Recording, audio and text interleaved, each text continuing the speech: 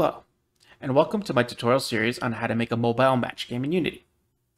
In this series, we are making a mobile match game which I'm releasing this fall. As you can see today, I finished up my level select screen. And if I go to my scenes, as I've shown before, this is the game I'll be making. And that I will show you how to make too, so you can release it. In today's video, we are going to find it, we're going to be populating our board with individual colored dots that will represent the sprites and objects we will later match in the game.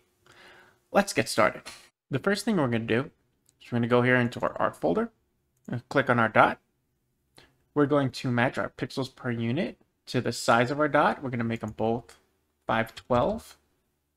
We're going to hit apply gonna do the same thing to our color palette, even though it isn't 512 either, but we'll make everything consistent. Then I'm going to drag the dot right there, and I'm going to drag the color palette right there. And now I'm going to go ahead and duplicate our dots. How many colors we got here? One, two, three, four, five, six, seven, eight. So let's make all eight for now. Two, three, four, five, six, seven, eight. And then I'm going to take my first dot and we're going to move it up here. And we'll start off with red right here. So I'll call this dot the red dot.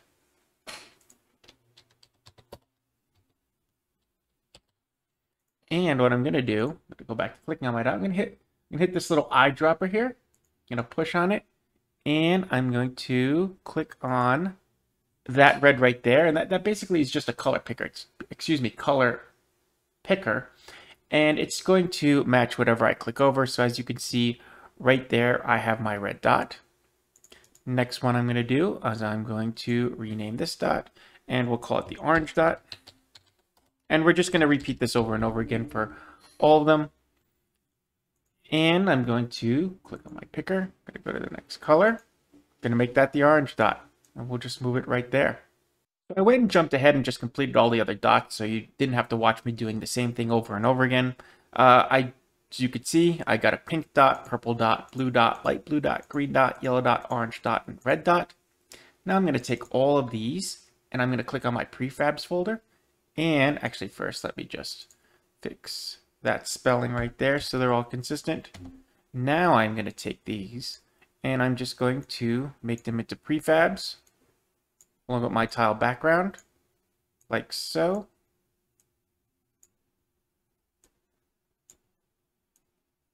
And I'm actually going to delete all of these and get them off the board. So now we're going to make a few adjustments to our board. I'm going to increase its size a little bit so we can get some matches of five in a row. And as you can see, when I hit play, it will be off-centered. So we're going to fix that. I'm going to go to the board script, and I'm going to change this to 3. I'm going to change this to 5. I already did all this beforehand. This is how I'm able to do this so fast. There was a little bit of trial and error getting its size. So put 3 and 5 here, just like you did with the board, so they're both centered to the same spot. And I changed my camera size to 7.5, and I hit play. And now our board has a 7 by 10 grid and it fits relatively center in our scene here. So when we hit play, our board populates, but this is kind of messy because uh, it just creates all these separate tile background clones right onto our scene here. So we're going to clean that up a little bit. I'm going to open up my board script. And right here, I already have the line of code here that is going to clean this up. The first one is background tile.transform.parent equals this transform. And what this is going to do, it's going to set the tiles as a child of the uh, board. And then the second one right here, once it does that, it will name each individual tile uh, by its i and j component. So I'm going to hit save on that. I'm going to go over here. I'm going to let this compile. And taking a little longer to to compile than I would have thought. There we go. And now I'm going to hit play. Now it's going to load this. And now as you can see, you got this arrow here next to the board. And if I go down, all the tiles are a child of the board now. And they're named after, let's go into the scene so we can see it better. They are named after the, um, their i and j components. Here's 0, 0, here's 0, 3, here's 1, 3. So that way you could see where on this grid the tile lies. So now we're going to add our dots into the grid. We're going to go here to scripts and we're going to open up our background tile uh, script. And as you can see, like last time, the uh, code is already here. So you're going to create a public game object and it's going to be called dots and it's going to be an array. That's why these brackets are here. And over here is a function we're calling, which is down here called initialize. This is where we call the function like last time. And this is where we write the function itself. It's called initialize. It's a private void initialize parentheses. Here are the brackets and here's the applied code. So in here, we're going to create an int called dot to use. And what we're going to do is basically we're going to apply a number for every color, 0 through 7, because there's eight different colors. Uh, and it's going to randomly choose a number, and this is how it's going to do it. It's going to start from 0, and it's going to go to the length of the dot, which is going to be 7. So that's how a random range number works. If you want random numbers, that's how you do it. You type random range, and in the argument, you pick your starting point and your endpoint. In this case, our endpoint is the length of the dots, which is, there's eight of them, but it starts at zero, so the last one will be seven. And then we're going to create a game object, very similar to how we created our game object here. Only it's going to be a dot, of course, and we're going to instantiate it. And like we said, there, there's going to be three components to this. There's going to be uh, what it is, where it is, and um, uh, whether it's rotating. And so what it is is a dot, but it's based off of this number right here. So whatever number gets chosen here will be placed here so it randomly populates it. Then we want to make sure it goes onto the board. It becomes a child of the board like it did back here. We're doing the same thing. And then we want to name it like we did back here, but we are not using an iteration over here. We're just populating with dots. So we can just say this dot game object dot name, and it will make it the name of the dot, red dot, pink dot, yellow dot, etc. So let's go back into Unity right here. And we're going to go to the prefabs. We're going to click on our tile prefab. Here is our dots. I'm just going to click on the arrow. This is where it's going to populate our array.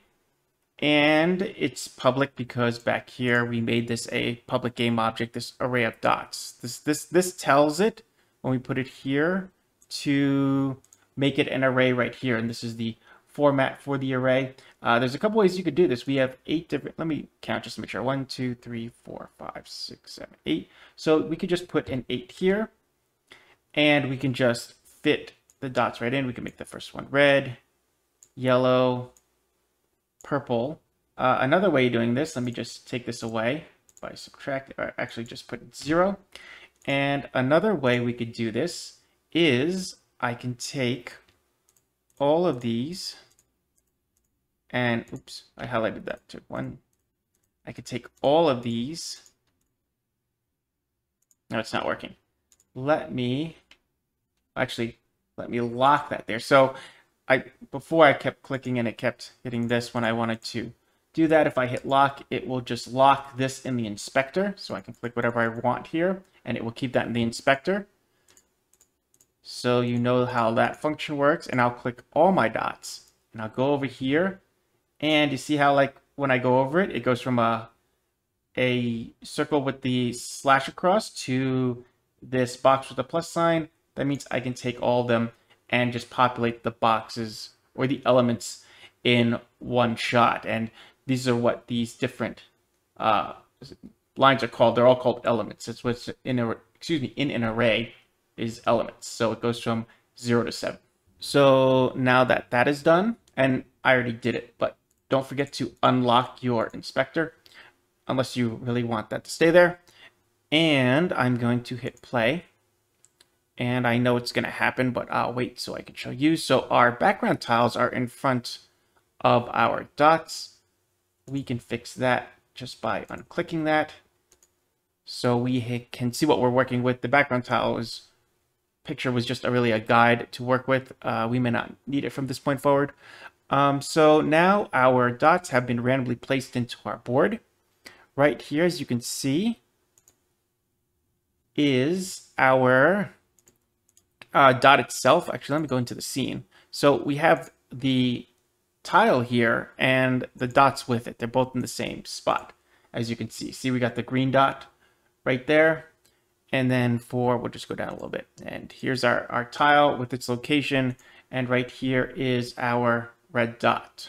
So we're going to stop here today. Wasn't a very long video because we're going to be going over uh, swipe controls in the next one. I like short videos because that way when you go through the playlist, if you want to go back and look at stuff, you can go and find the subject rather quickly. If the videos are real long, that makes it a little more difficult. So as always, thank you for watching. Like this video, subscribe to my channel, follow me on Facebook and Twitter, and support me on Patreon.